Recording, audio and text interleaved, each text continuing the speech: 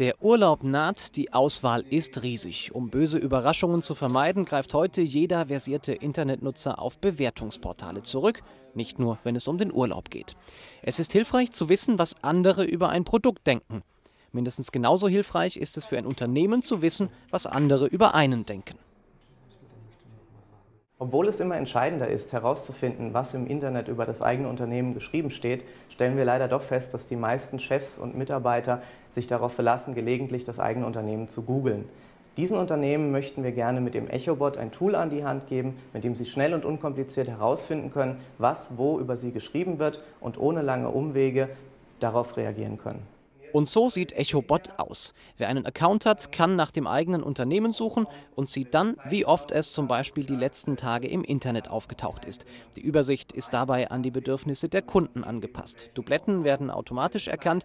Außerdem wird angezeigt, wie viele Nutzer durch die jeweiligen Nennungen erreicht wurden. Wer die Ergebnisse dem Chef vorlegen muss, kann sie ganz einfach in ein PDF-Dokument übertragen und ganz klassisch ausdrucken.